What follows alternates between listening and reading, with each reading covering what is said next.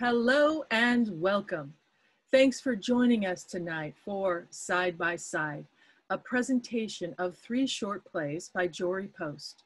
I'm Deborah Bryant, and I'm a member of 36 North, a playwrights collective based in Santa Cruz, California. We're pleased and excited to bring you tonight's show, which we hope will be the first in a series of quarterly readings of plays by our members.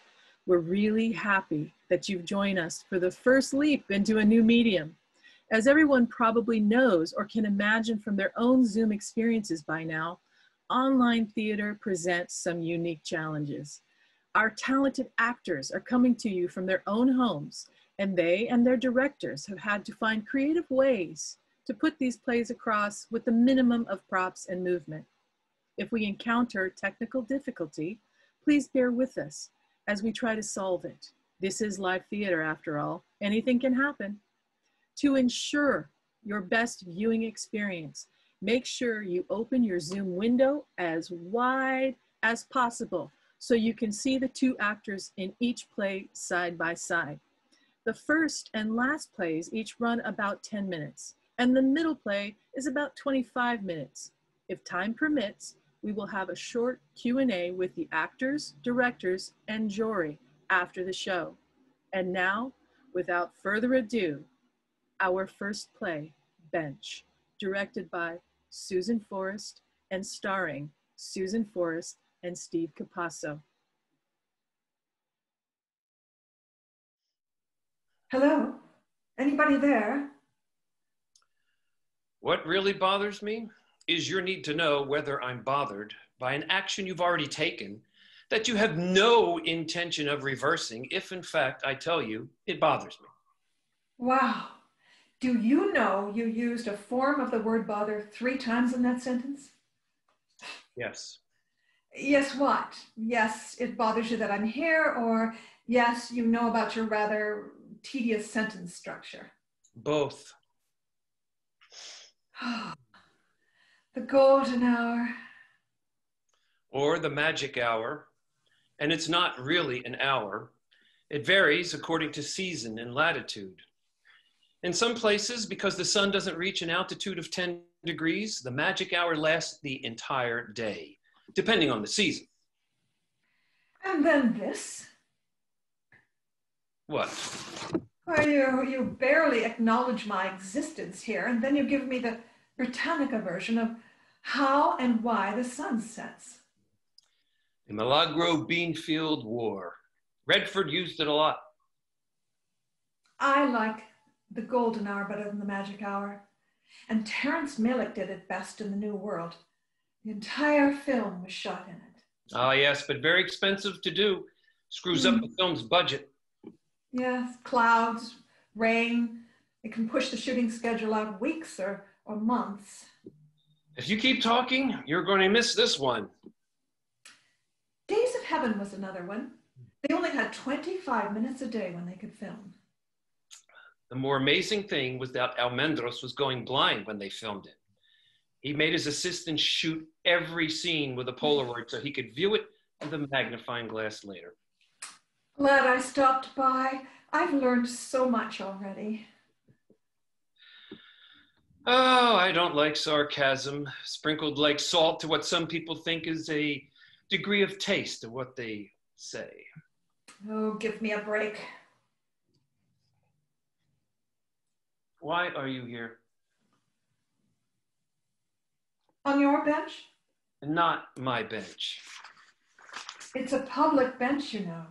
Of course I do, but you could have waited. Huh. What? Not enough time for that. Always with the sarcasm. Just sometimes. I think we've got about five minutes of gold left. Let's capture this.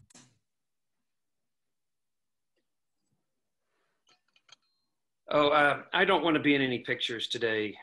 Oh, it's a little late for that, buddy. Just one more for the album. You are a bit deranged, you know. And you are just a whole lot of stick up the ass, you know?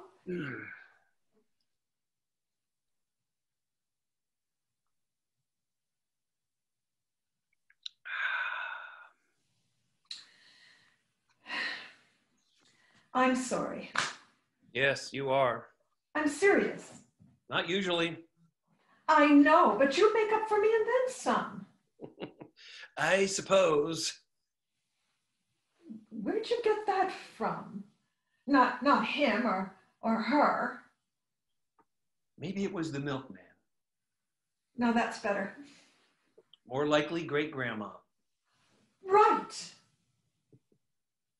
Always such the contrarian. Do you remember the time she started complaining about my face? Puffing on her Virginia Slims, circling my head, turning sideways, snorting, and then finally saying, What did you do to your uh, nose? so you thumbed it at her. I did. She had three slims going by the time that conversation was over. Well, I definitely got some of her genes. But why didn't you? Well, who says I didn't? Well, none that you ever shared. Well, that's the trick, isn't it? Oh, uh, I wouldn't know. No, you've always been so literal. Never learned how to hide. Oh, I tried, but uh, some people didn't let me. Oh, bullshit. I have let you hide all our whole damn lives, and this bench is no place to hide. They'll all be trotting down here in a few minutes with the ashes. Which is why I wanted some alone time before being inundated. Do I inundate you? Uh, sometimes. Would you like me to leave? It's too late for that. Hmm. No, no, stay, stay. If you insist. Well, I wouldn't say it so strongly. Let's just say I won't resist. Oh, bother. Yes, sometimes you are. Aren't we all? Hmm. Oh, crap. Oh, two more minutes. Hmm. She was popping the champagne just before I got over, and Billy and Juanita were polishing the crystal for her. And Jen brought a key lime pie from Gayle's. I'm surprised we're not having a marching band. Oh, you mean the plans changed? Sometimes you're funny. How'd this thing turn out anyway? Oh, they always do. Nice work. I see you talked her out of that quote. Oh, God, yes. I mean, it's more than I can handle. You know, his name and his birth and death dates are plastered out here forever for the whole walking world to see, for every golden lab and black lab to lift a leg on. So I put my foot down on that quote. Well, thank you for that.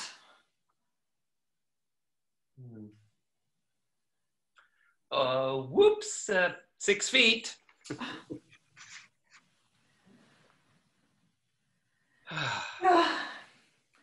Looks like our time is just about up. Hmm. Just about. Can I have a hug?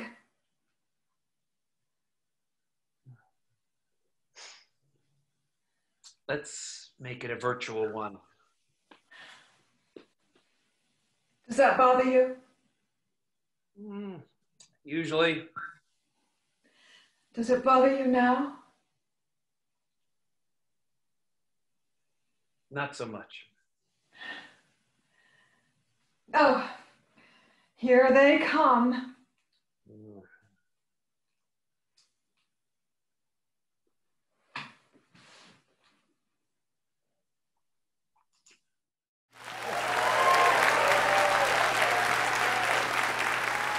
Thank you, Su- Susan and Steve. Next up, Season Tickets, directed by Steve Spike Wong and starring Spike Wong and Helene Simkin-Hara. The setting for this play is the Curran Theater in San Francisco. The, the play takes place in three scenes before the curtain rises, on the evening show during intermission and after the show has ended. To indicate scene changes, the actors will turn their cameras off and on again.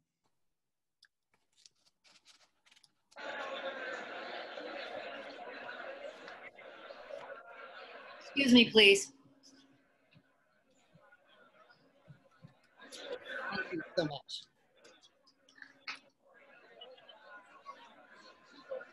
What? I know you speak. I've seen it before. Do you? Do I what? Do I know why there's always an understudy on my nights? Why I can never just once see a pure performance as the director intended with the original cast? When you. When when I what? When I pay this much goddamn money for tickets, season tickets, I might add, do I expect to be treated like a princess? Yes, I do. When you. Do you? You know, the entrance thing? Have you ever considered the stage? Perhaps something like early Demosthenes? I may have a bag of marbles in my bag if you'd like to work on that diction. When people enter a row, the normal mode of entry, and when I say normal, I mean what I have observed while sitting in this very seat for 30 some years. 33. What? Not 30 some. Just say 33, because I think that's what you really mean. Listen, the typical style of entry when passing someone who is already seated, as I've come to expect and believe is standard and accepted behavior, is to face the stage. But you, you face the audience with your backside to the stage and the, the front of you, right in front of my face. Already. So soon, this is about sexuality. Because what you're saying is that the proximity of genitalia as I pass you face to face is less normal, more sensual, sexual, uh, than if my ass is pressed into your crotch as you stare at the back of my skirt when I move by. I said nothing about proximity of genitalia. Since when does theater etiquette have to become a discussion about sexuality? Isn't it just a matter of preference? I mean, this or this? You're quite forward, aren't you? Or pun, if intended. Which is okay. I know what you like. I've seen you. I've watched you.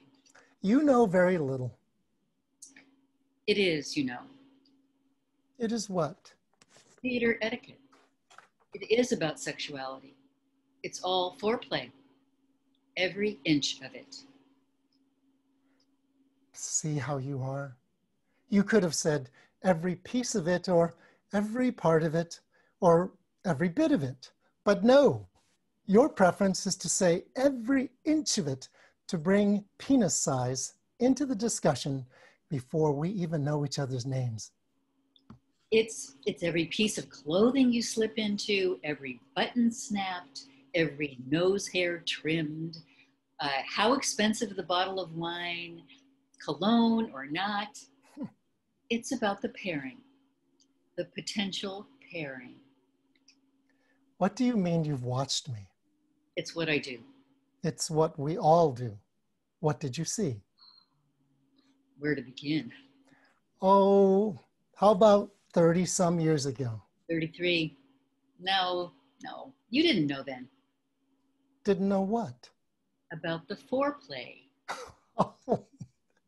but you think I know now? Well, I know you know now. Tell me. You should be paying me for this. I think I already have. I I don't understand. Go on. Well, where to begin? Uh, you already said that. Yes. How about Wicked 2009? Okay. What about it? I think I think it was June. It was June 4th. That's impressive. It's what I do. Do you remember your date that night? No, well, maybe. I do. How can you possibly remember that? I think she was possibly 10 years younger than you, maybe 45, 46. Long black hair in a bun, too black, probably dyed. Uh, nice shoulders, bare shoulders. Do you remember her now? She wore a royal blue skirt, she had a white sheer blouse. When she walked in front of you to take her seat, you stayed seated and you ran your hand up the inside of her leg. Are you making this up? How could you see that? Did you enjoy Patty Duke as Madame Morrible? I enjoyed the nostalgia. I was happy she was still working, but she made me feel old. I liked Carol Kane's portrayal better. She wore rectangular earrings, platinum or titanium, new age, artsy. Carol Kane or Patty Duke? Your black haired date. There was, a, there was a blue stone dangling, maybe a sapphire, in the center of the rectangle. Oh, her, Connie. It was a fake sapphire. I didn't see her again. And neither did I. She wore too much makeup. Yes. I don't think you like women with makeup. It was a first date, friend of a friend. Takes longer than that, doesn't it? What does? The foreplay. Oh, there you go again. We don't even know each other. Oh, we've got a couple of minutes. Connie, Connie wasn't like the other woman. Oh, you mean my wife? I was never sure. Longtime girlfriend, lover, wife. I never had an angle of the ring finger. Hmm. It was November 6th, 1992, Les Mis. How do you do that? What? The dates. Eidetic memory? no, it's, you know, I don't know. It's just linkage. I make connections. Three days after Clinton was elected, I met her at a Clinton rally. A celebration then? Our first anniversary. I liked her. You didn't even know her. Celebration that lasted, what, uh, 15 years? The last time I saw her was at Legally Blonde. At, at the next show, the curtain went up and your seats were still empty. I panicked a little. You didn't even know us. But I always saw everything. I told you, just two rows back, perfect angle.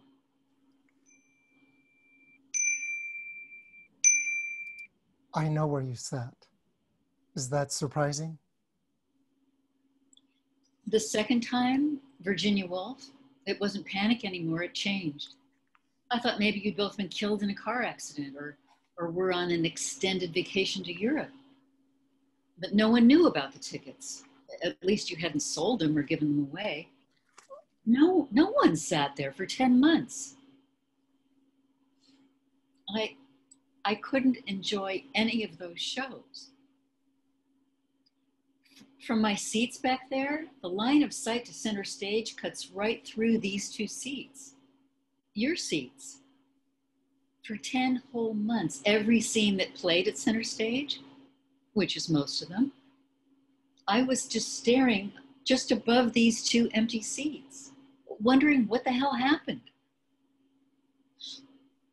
And then there you were. It was the color purple. I saw you walk in by yourself. I watched you take your seat. I actually felt my heart bounce against my ribs a little. Well, I waited and I kept looking back up the aisle up to, until the house lights flickered and finally the curtain rose. December 8th, 2008. But she never came. No. You thought she was maybe in the bathroom. Yes. But she wasn't. No. She was mostly a good wife uh, until she wasn't. What did you mean before? About what? You said you knew about my seat? When did you first notice me? 30 some years ago. I first noticed you 33 years ago, standing by your seat after the show, waiting for the row to clear. Hello, Dolly. Carol Channing. Yes. Back of your head is what I saw first. Your neck wrapped in a lavender scarf and the near buzz haircut. It made your head look like an egg in some kind of exotic nest. That's it? No, What else? you inched your way to the aisle. I was behind you, my eyes tilted down, watching your shoes. You like shoes? I do. Well, not just the shoes, not all shoes, but the way they fit around feet, whether or not people seem comfortable in them, or if they're poured into them like some jello mold. Then I saw your flats, maroon and lavender, soft. You know, I never once saw your eyes. When? Ever. You must have a huge bladder. I mean, you always stayed in your seat during intermission, and I always left before you.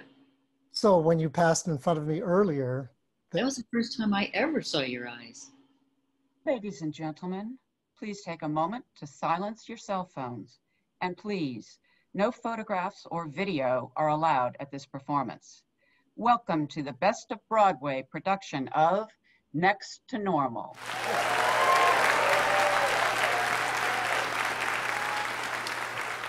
do you mean when you said, I think I have, when I said you should be paying me for this?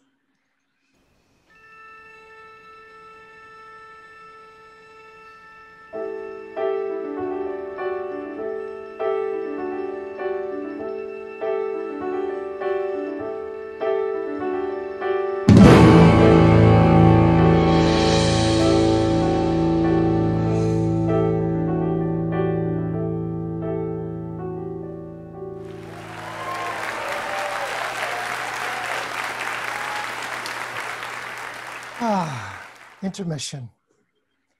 Is everything okay? Uh, yes, why wouldn't it be?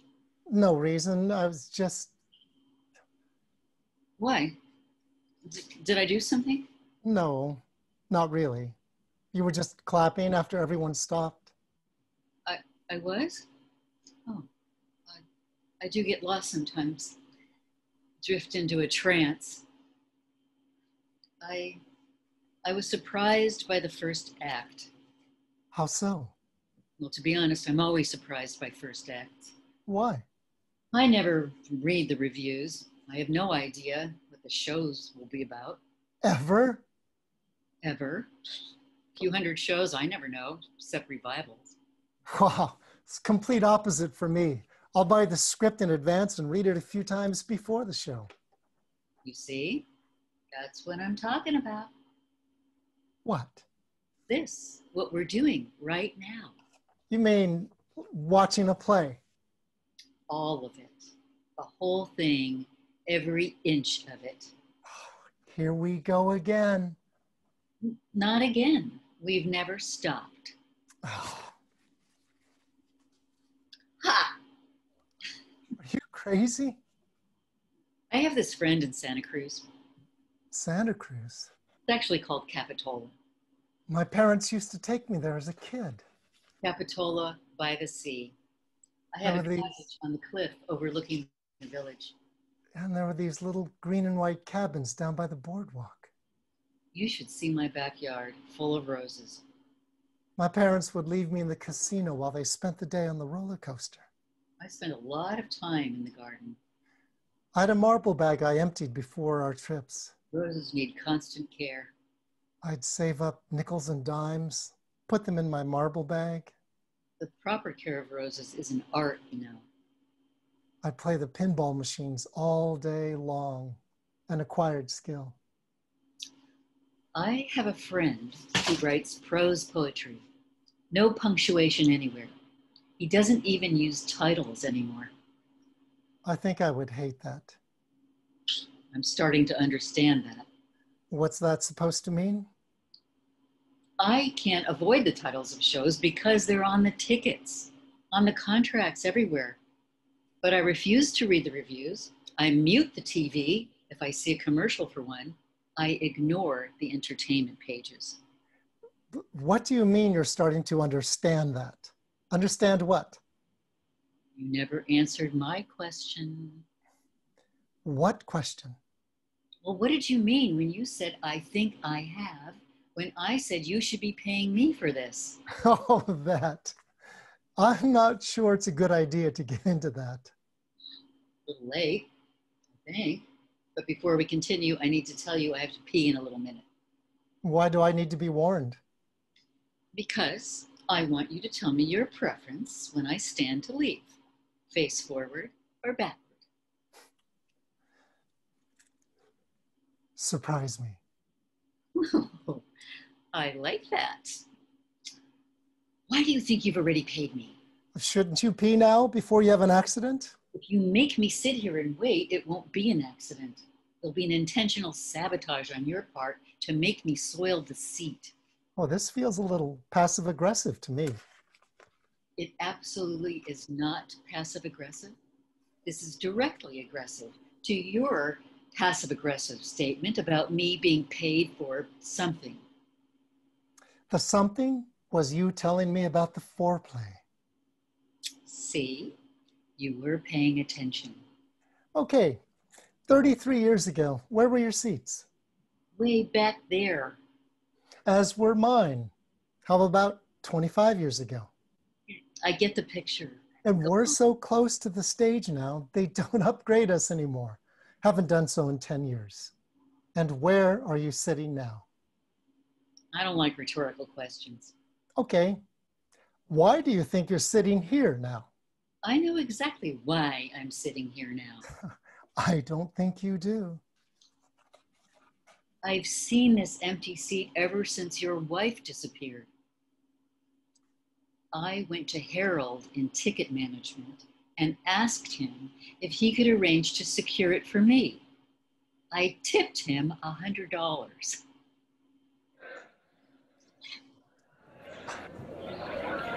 What seat?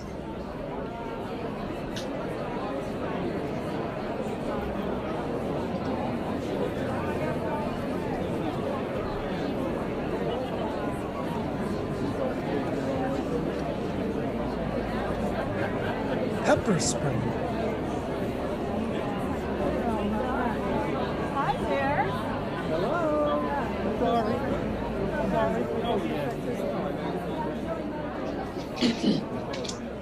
Uh, that's my preference. I tipped Harold $150 to offer you the seat. Oh, God. oh, Harold, you're so much better at this than we are. Um, did you enjoy the contents of my bag? I assume that's why you left it. Well, I do like to observe when I'm being observed. And hasn't that been going on all night? See, you are starting to get it. Why did you clap so long at intermission? I believe that question takes us beyond foreplay. It's not the question that takes us there, it's the answer. As I've said, I didn't know what this play was about. I didn't know what the title was trying to tell me. By the end of the first act, I did. And I was lost in my head, a little sick to my stomach. I've read the play three times, knew what was coming, and I was a little lost as well. What do you mean? Uh, you were stuck in your trance, didn't notice that I never started clapping. Wasn't sure I wanted to clap. By the time I got through fighting with myself about it, the clapping was over, except yours. Well, I know why I was lost. Hmm. Why were you? I wasn't really lost, more that I was all too found, undressed, laid bare. I have a son like her. I I had never heard the term next to normal before. But by the time she was in the hospital bed in the straitjacket at the end of the last scene, I understood. I recognized some of her behaviors. You have a son like her? I have a me like her.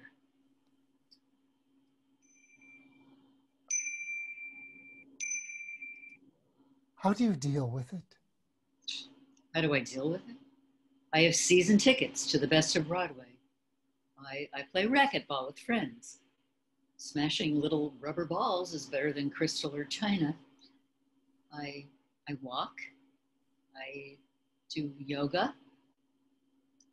I have pills, but I try not to take them. It, it comes and goes. What about your son? He took the pills, all of them. Oh. Final act. Let, let's see how it goes.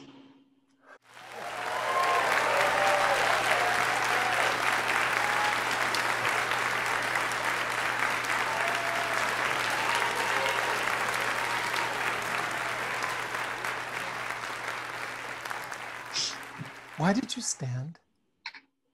Why did you not clap? We are very different people. I would certainly hope so. Well, did you stand because others were standing? Thought it was the thing to do? Or did you really love the message of this play? None of those things. I didn't notice other people except you not clapping. I hated most of this play. Hated this playwright holding up a mirror to my face. I refuse to clap or stand for something that makes me feel so horrible about myself, about the people around me, about every single person alive. The roses help me. About myself, a pinball machine, put it in the kitchen. I can tell you the Latin name of every rose in my garden. I bought it the day she left. Why did she leave? She couldn't stand to live with the ghost of my son lingering in the house. Couldn't stand seeing him in my face. Me, me acting as if he was still alive.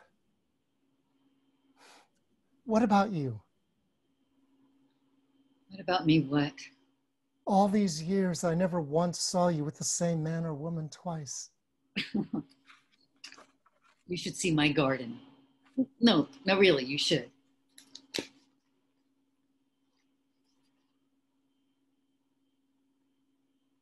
Wow, that is impressive.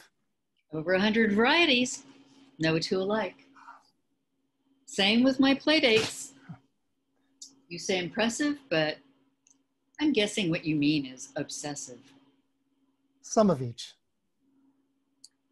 Well, roses are easier than people.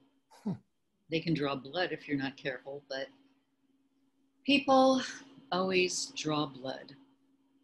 Why did you pay Harold to get you the seat? Oh, we have suddenly jumped well beyond foreplay and are now threatening penetration. You see how you are. Yes, I do. I do see how I am. That's part of the problem. But you paid good money for a seat that put you next to me, possibly for the duration of your season ticket life. How does that work? I don't know yet how it works.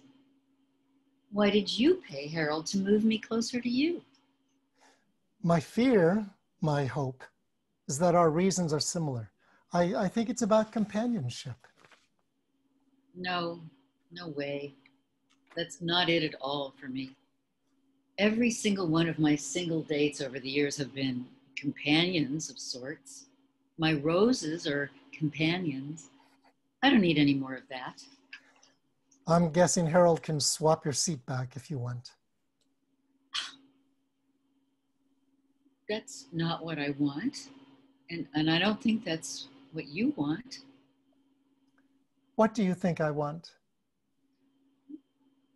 Your pinball machine? Your son still alive?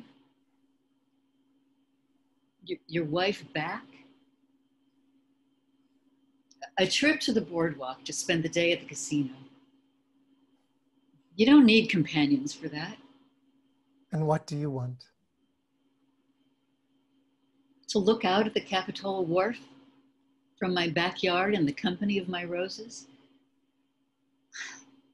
To fill an empty seat. I do believe you're tricking yourself by saying it's not about companionship, even if you call it something else. Something else like what? I don't know. What is it really? 33 years worth of it. Maybe it's not companionship. Maybe it's familiarity. Bingo. Foreplay over. I missed you when your seats were empty.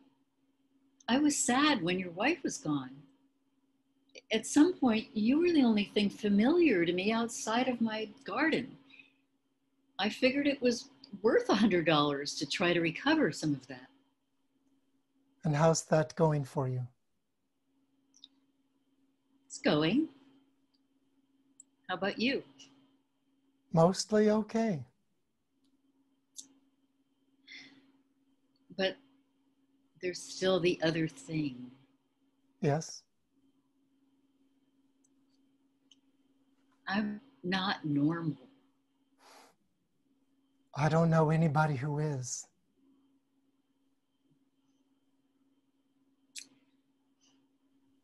I'm Sheila. Barry.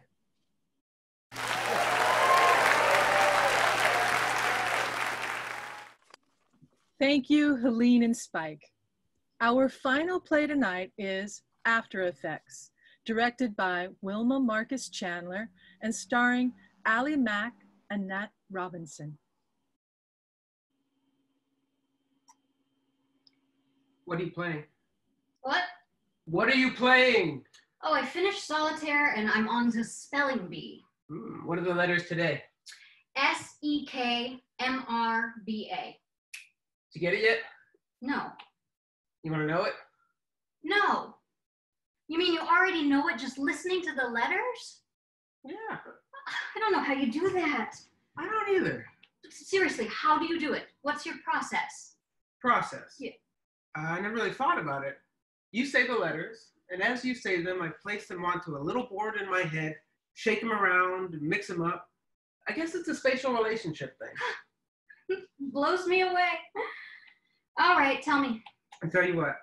The pangram. Oh, not into the purity thing today. I just don't want that word clogging up space in that brain. Spit it out. Embarks. You want more? Oh, of course, it's embarks. Yes, please, more. Breaks, Uh-huh. bakers, Uh-huh. makers, Uh-huh. embarrass, Uh-huh. re-embarks, berserk, Uh-huh. breakers, Wait, wait, remakes, wait, wait, slow down. What was after berserk? breakers. Oh, that's fucking fascinating. What? Your brain. No different than yours. Uh, it's way different than mine. Why do you even say that? Spelling bee, solitaire, whatever book that you're listening to, all while you're having a conversation with me. Multitasking. What's the book today? Oh, I'm embarrassed to say it. It's for the new online book group. Come on, out with it. Uh, fine, all right. It is Janet Evanovich, One for the Money.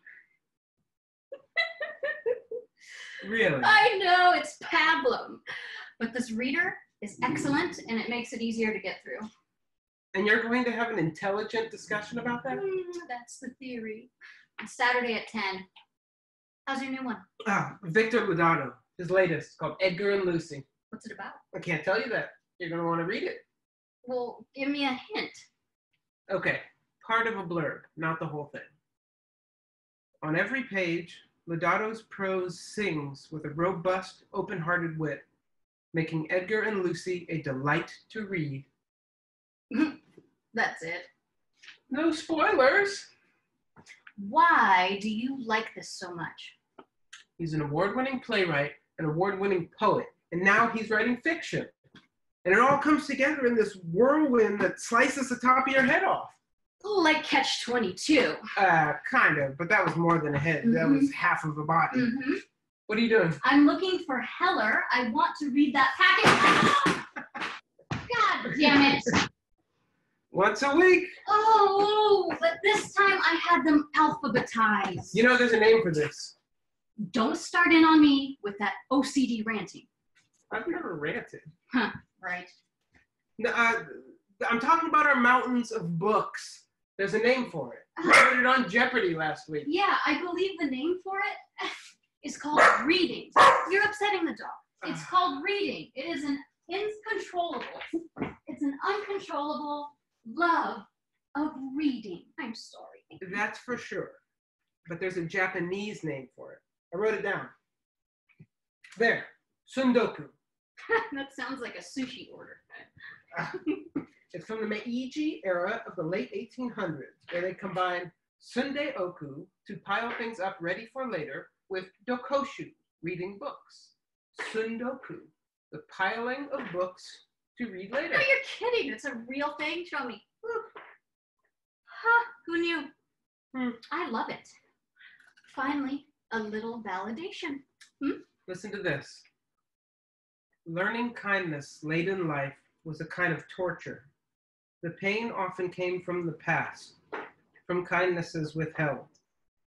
The knife was particularly sharp when those who most deserved your kindness were long gone. Unless you wanted to die of sorrow, you had to give this unspent kindness to those you loved less. What? Lodato wrote that. Mhm. I want that. when you're done. How long till you're done? I don't know. This is one of those books, you know, where you have to go back and let the slow burn take Yeah. hold, Yeah. read over what you just read, and make sure you read it right. hmm Maybe a week. You want me to put it on your tower? Uh, Lodato? L? No, that would go right in the middle. I'd have to rebuild the whole thing. The pillow. Just put on the pillow. Really? The pillow.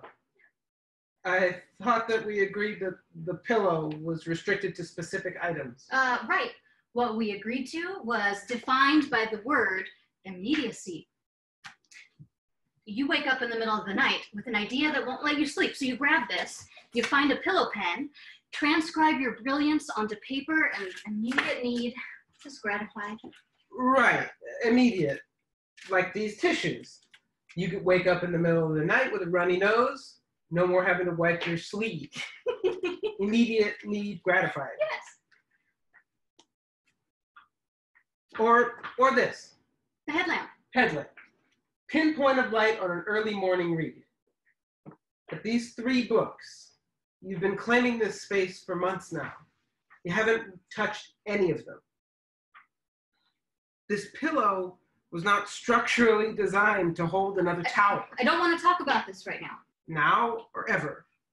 What I want is Edgar and Lucy here on the pillow when you're done with it. Please, Do you think that please ends it?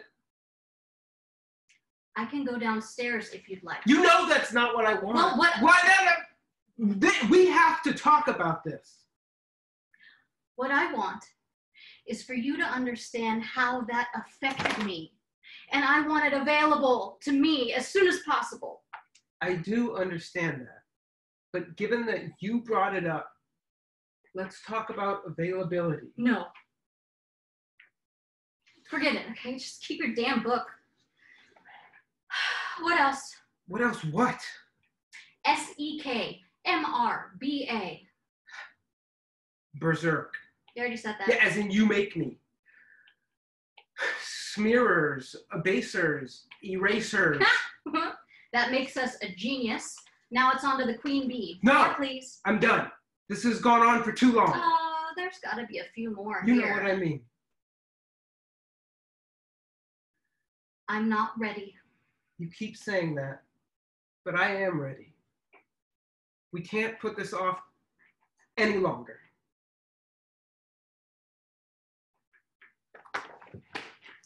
Damn you! What do you want to talk about? Let's start with the pillow. Oh, come on. You love the pillow. That's a bit of a stretch. I have learned how to use it since you put it there. And you know why it's there. That doesn't mean I have to like it or agree with it. Six months is too long. I didn't know that I was being timed. It's affecting our friendship, our relationship. Well, some things are more important. Do you really believe that? I don't know what I believe Nothing anymore. is more important to me. I wish it would have been me who miscarried. But it wasn't. And you've said that before. And I'll keep saying it.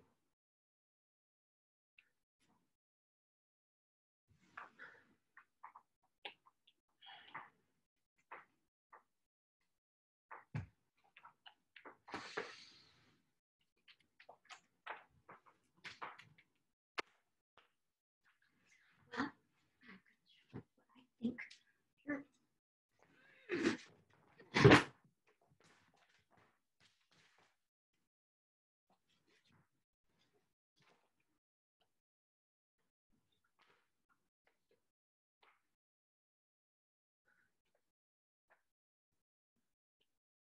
Aren't you gonna say anything? This guy, what a writer. I wouldn't know, since you're reading it so damn slowly. The Francine Prose way. Why don't you order an ebook copy on your reader on your iPad and we can have a two person book group? I don't feel like discussing much of anything with you right now. But you keep at it, knocking my books over, looking for a reaction out of me. What's really going on? Pillow talk.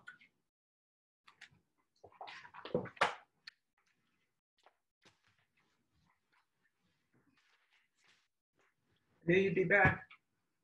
I don't want alphabetical. I know, I know. Chronological, but how am I supposed to know that? You do know it. Become a time traveler. One point of reference. Before and after miscarriage. Or ask me. To the lighthouse. I reread her every January at the bottom. Thank you.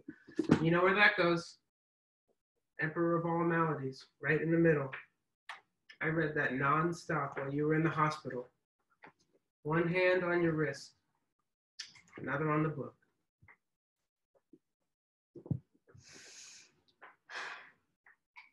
You were so sweet. Even if I hadn't recognized it. Up until that point, I thought that losing a parent was the worst that could happen, but losing a baby was, is a whole nother magnitude. You lost a baby. I lost a baby and a wife.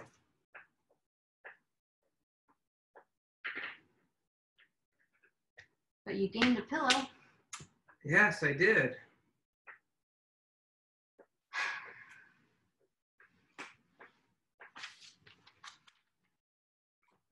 What?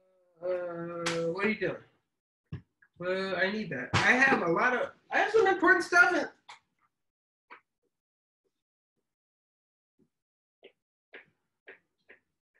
I'm sorry for being pushy. No, you're not. but thank you.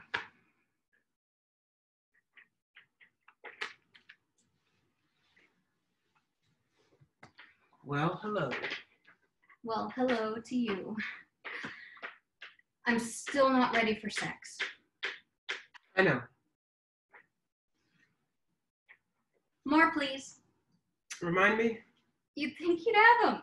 S E K M R B A. Where'd I leave off?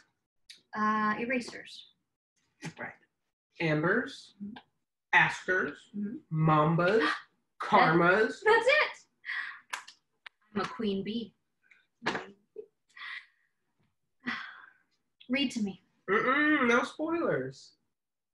Read to me. Okay, just a little. Words weren't a solace. Come up. Buddy.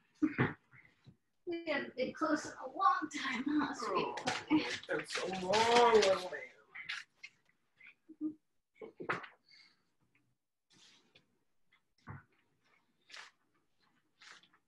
Words weren't a solace, but they focused one's emotions into something more tangible.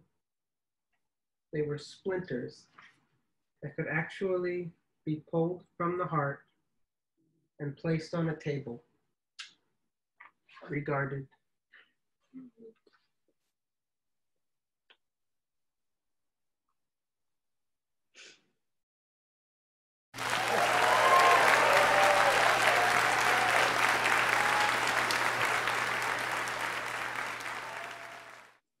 Thank you, Nat and Allie.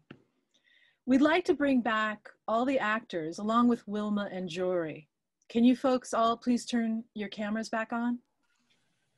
All those of, of you in the audience might want to set your Zoom screen to gallery view at this point so you can see everyone all at once. That's great. Thank you, everyone. Great show.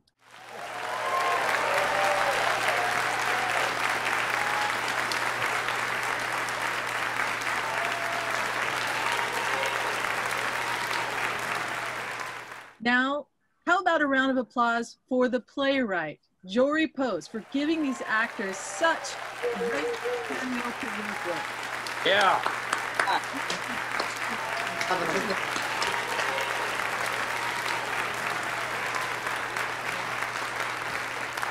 Okay, it looks like we have time for a few questions. And for, for any of the actors, the directors, or for Jory, you can use the chat function. And in some cases, depending on your uh, software, you may not be able to use the chat function. So we're screening both chat function and the Q&A section of the webinar. So um, just go ahead and click in the chat or the Q&A and type your question.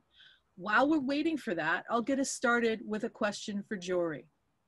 Jory, can you tell us a little bit about what this process has been like for you, both as a playwright, seeing your work in this medium, and as a tech guy who had to figure all of this out, how to do it?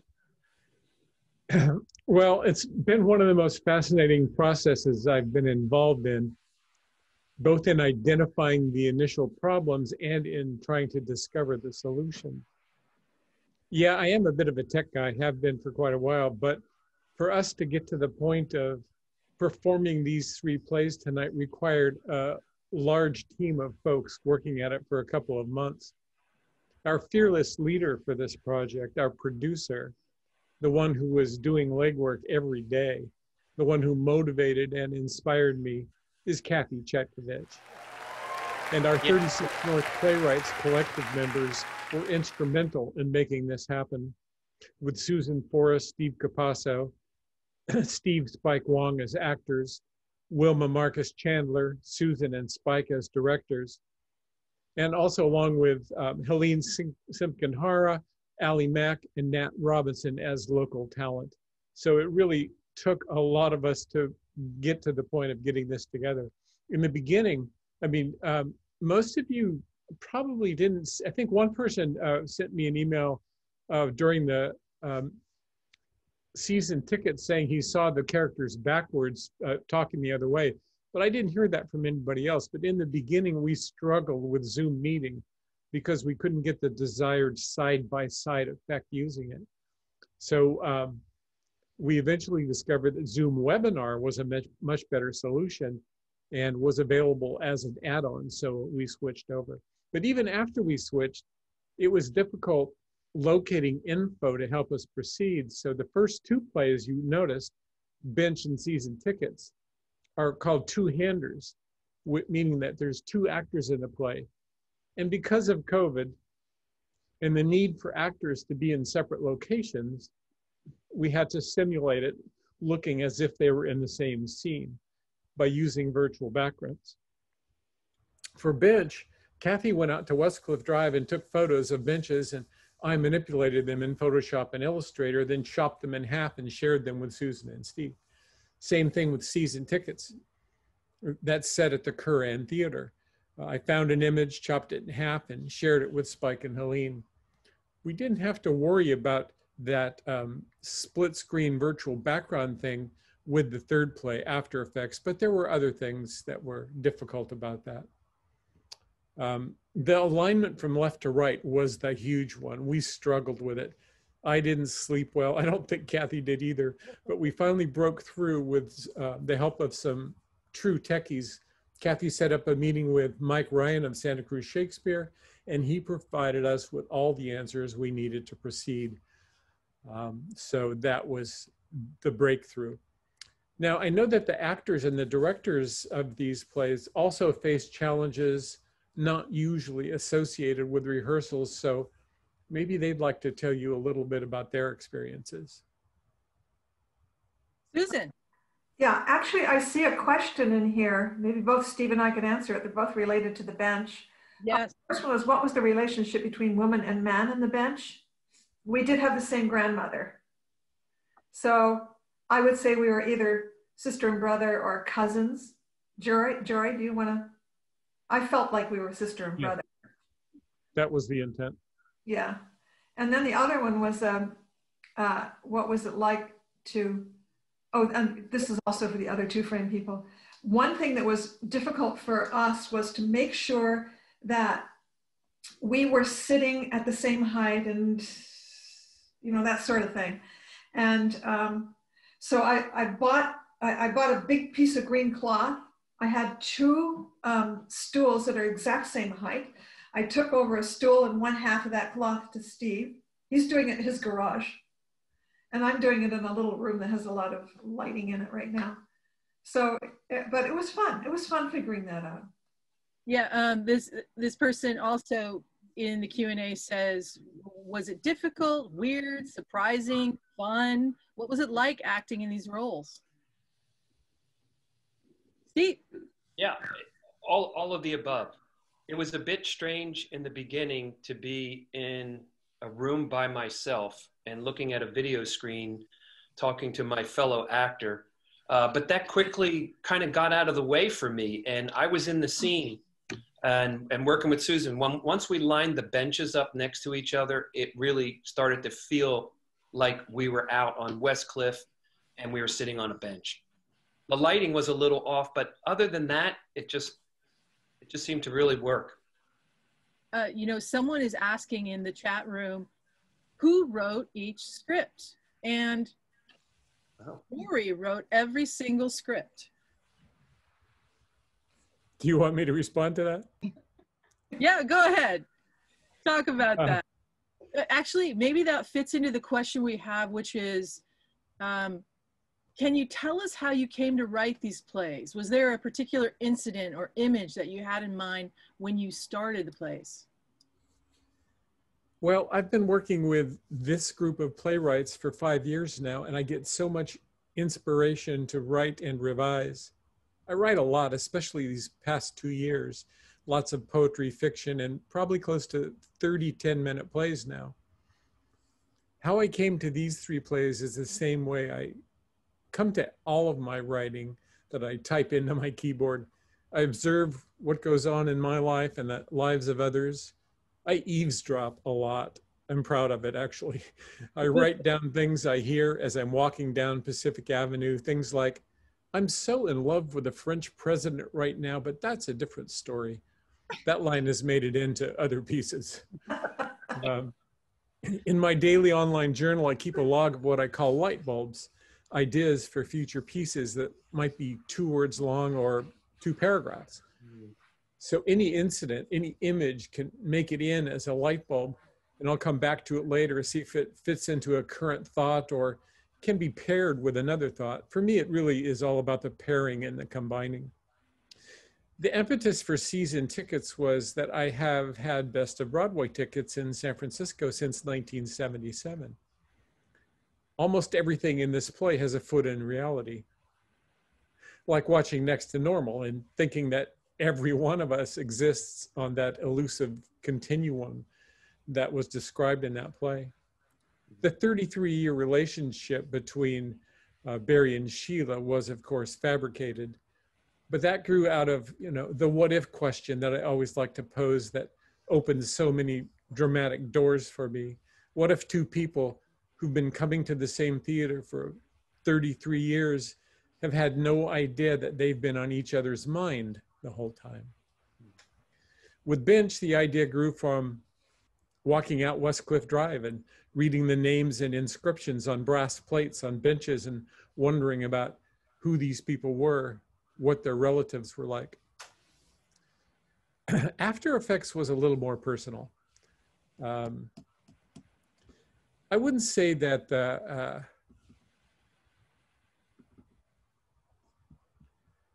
I wouldn't say that the set, Nat, Nat and Allie's actual bedroom, was identical to mine and Karen's, but very similar. Um, if I can find it quickly, I'll show you an image of our bed and you'll have a better understanding of where this play came from. Let's see. I think I saw the question come up Do we live together? Yes. Yes. Uh, three years ago, we were married. Uh, this is our actual bedroom. And this is the bedroom it was based on, Wow. with a Yeah. pillow and a pile of books on it. Um, and uh, now, the drama in our story wasn't about a miscarriage, but a health diagnosis. The pillow appeared, the tower grew, its intent became all too obvious, and I had to write it, even though I wasn't sure what the it was yet.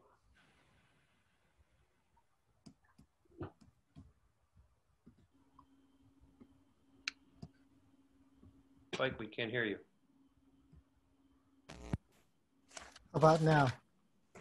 Okay, cool. So Scott Ellis posted a question about how hard was it to, you know, uh, act and all this other stuff. So Scott, if you're still there, the, the weird thing about um, the side-by-side ones directing it is we're always looking there. So it's really hard to see actually what's truly going on.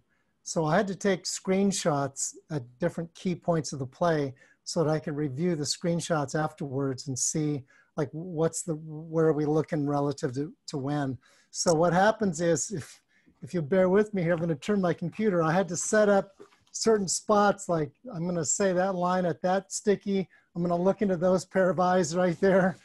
And so it was all done using screenshots to try to adjust where i'm looking and how it's going to become look like and stuff.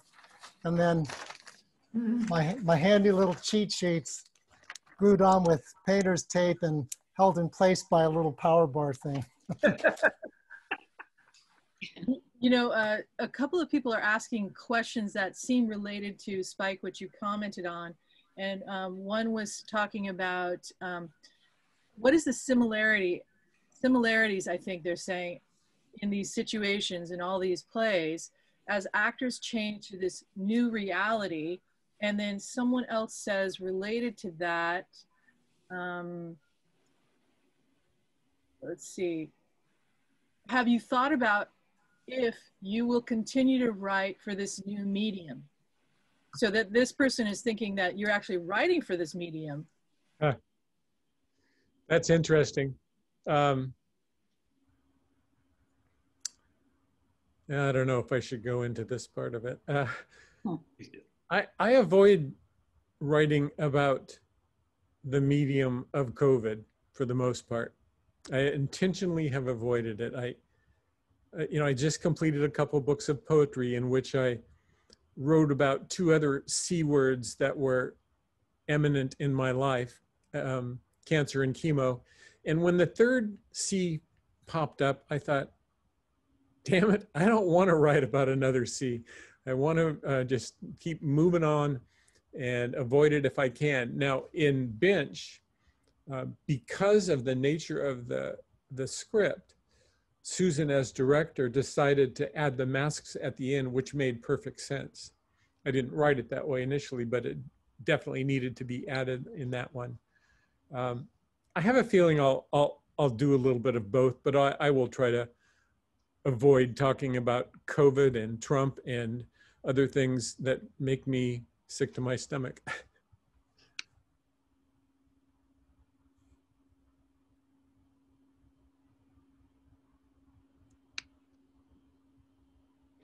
um, Oh, here's one. Um, funny question if we want to go there. How did Nat and Allie get the dog to take such good direction? Yeah, well, knew that was going to come up. Uh, I wouldn't say he took the best direction, but um, you know, it was a reality of performing in our house. You know, um, it's uh, you know, it's a new medium, and he's also a puppy, so it's not so easy just to, to get him to calm down. Um, but yeah, you know, Wilma, we were trying to find anything to like deal with him and try to minimize his effect.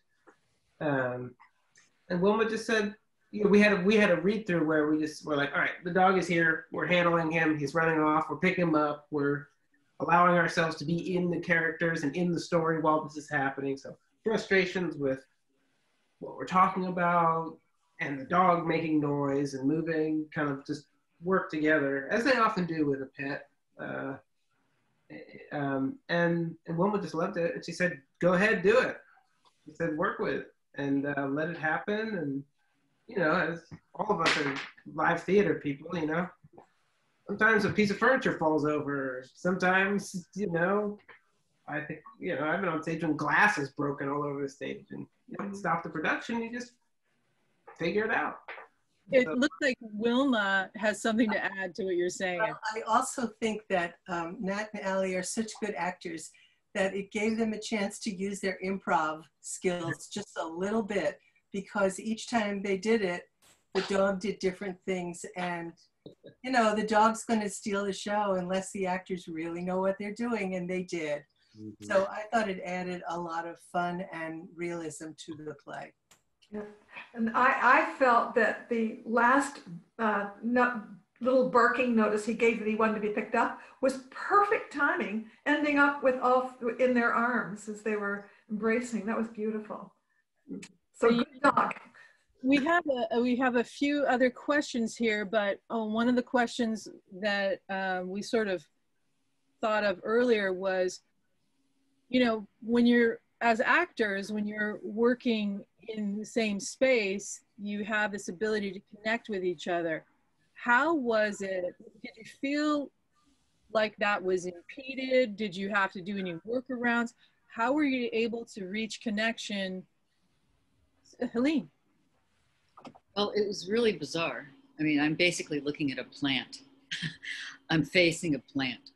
Um, but what, what Spike and I did, um, which really worked really well, was um, we rehearsed a, a couple of times, actually just facing each other on another Zoom call. So we actually could see each other and feel what, what would normally, mostly, except we can't, you know, we're not in the same room, but at least we could see each other. So that really helped a lot. Because then when I'm looking at the plant, I'm remembering Spike's face and how he looked when he was saying certain lines. So that helped a lot. And I had this um, a, a music stand where I have my script up, you know, and it's like a, it's a, it's very bizarre, but it works. Yeah. Thank you. Allie. I can talk to it on a different kind of thing. Um, we're in our house, and for me that was a challenge because if you've ever done a play with Nat or I, you kind of know that we like to get to the theater. We like to be in the space and warm up. We have routines. We yeah. stretch we have all these theater warm-ups that you do um, and being in the theater is one of the magic parts right it's it's the way that your character becomes where you go you switch from your day to job you get off work then you go to the theater then you shift and you become this other character being in our house and especially in our bed was a challenge because how do you pick up this character and then let it go and now we're, we're gonna have dinner after this and watch right here so it, it, that posed a challenge. I missed the space of the theater. Yeah, it's the theater is my church feeling. Yeah. Um, And yeah, this is this was um, you know when you go to the theater, there's a really beautiful safety about it. I think you just feel so safe when you step into a stage or even a rehearsal space and you just kind of walk through that doorway and everyone knows what's going on. When you're in your house, your neighbors are probably like, oh, they're fighting again, whatever. They've really been fighting a lot in the last couple of weeks. um, so, so that's always missed. And, you know, it's just, you know, we love an audience. Like, there's a reason that I love center stage because it's a little space that you can feel everybody. Or when we do it up in in uh, Mountain Community Theater, we do it in the three quarters, Mhm. and you can really be with other people. And that's you know that was a challenge that we both had to come over and say, okay, this is different. Yeah, It's a different experience than doing a show on stage. What was nice is the writing. I mean, Jory created these characters that were so real and easy to put on. Um, you know, the relationship between Blair and Alex is is oh, this is the night that it's it's going to be different. The pillow comes down, and that's a big moment for both of them. Um, so it was beautiful to do, and such. It was nice to do here in a bed. I, it actually probably was easier than creating a set of a bed and all this. Felt like a bedroom and it felt private enough that we're having this really intense conversation. Yeah, it added a very interesting layer for us to be in the bed and having this conversation that mm-hmm. people are having in the bed. Yeah, So yeah, I miss it's credit to the writing. yeah, the writing was wonderful, Jory. Thank you. I don't know, Maria. thank you, but have to say thank you again to Jory. Thank you. Yeah, Jory, thank you. I, I see a question here from Ellen Osley that says, were there some positives or opportunities with doing virtual live plays? Well, one of them was that at one point in time, we had 188 people in the room and we didn't have to charge prices for tickets. So that was great to be able to have such a large audience be here tonight and and uh, see the fruition of everybody's hard work that this could not have happened without. Uh, there's another question coming in says, who helped with video editing and recording? So it looks like, so Jory, you're actually recording this now. And so you will edit it later on. This is everything that um, since 545 is, uh, well, since 602 has been recorded. And when we finish, I will edit it. Um, I, with my Zoom forward productions that occur on Friday nights, we the 30th one will be this Friday. I've only um, done the audios because the videos are so large. With this one, I will probably figure out how to get the video up to be seen um, with both the video and the audio. Uh, where do you think you'll uh, put that up? Well, I will try to get it up to the frenzy.org website where the Zoom Forward uh, website is. But also, Deborah is now our webmaster for our 36 North website. So So that's probably the better spot for it. Yeah, we can put it up there. Absolutely. So It'll be um, large. It'll be a large file. large file. Uh, does So can I, can I yes, jump in? Mike. So yeah, I just want to address Ellen Osley's uh, question. So um, first, Newhart, if you're still out there, it's good to good to see you again, sort so to speak. Um, I think the possibility and opportunity of doing theater like this, especially side by side, for actors, it's an issue of trying to develop first your character and your relationship in ways that are just completely foreign to anything you've been trained to do. Uh, it's not even the same as being in front of a camera because even in front of a camera, there's people around. So it's it's this intensity of, of work on the actor's part, and then on the production side, uh, I don't know, like with, with Jory and and Kathy and Deborah resolving all of these issues ahead of time, it it's really complex, and I'm really thankful that all of us involved in this had these incredible challenges because um, frankly, Jory's work needs to be out there. And so I'm glad we had all that stuff coming together. Here, here. Yeah. Does Does anybody have any other questions? Because we're we are probably getting to that place where we're going to wrap up. Comments or questions? I just want to say again that we could not have done this without everybody here, and especially Kathy Chetkovich, who was an awesome producer and uh, knows how to dig in and get things done and knows people and makes things happen. So it was really a thrill to work with her and everyone else on this production. Yeah. Yes, Kathy. So we'll, we're going to wrap this up. And thank you again, Jory and actors and directors, for your terrific work. And thanks to all of you in the audience for joining us and giving us the opportunity to make theater again. I mean, special. We look forward to getting back on stage one of these days and to seeing you again here in the meantime. But for now, good night. Night. Everyone. Stay safe. Yes, stay safe.